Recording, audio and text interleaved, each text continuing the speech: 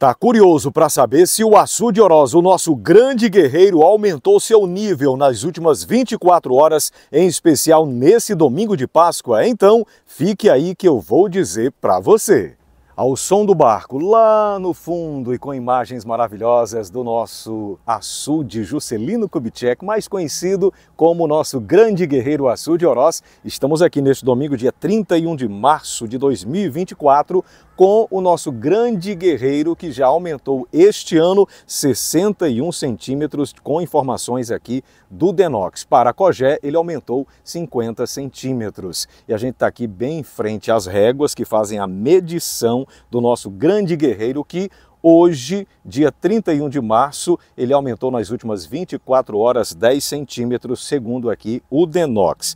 Dados do nosso grande guerreiro, 2021 ele aumentou 2 metros e 93 centímetros e baixou 2 metros e 10. Em 2022, o açude Oroz teve a sua maior recarga dos últimos anos, 5 metros e 95 centímetros e baixou 1 metro e 15. E ano passado, 2023, aumentou 3 metros e 36 centímetros e baixou 1 metro e 90. E essas são informações de hoje, domingão de Páscoa, e eu quero desejar aqui uma feliz Páscoa para você e toda a sua família e que Deus abençoe poderosamente a sua vida e restaure ela e te dê muita força, ânimo para continuar. E sempre que puder, dá uma passadinha por aqui na tela da TV Oasis, que a gente está sempre postando aqui imagens como essas. Então, um cheiro no seu coração!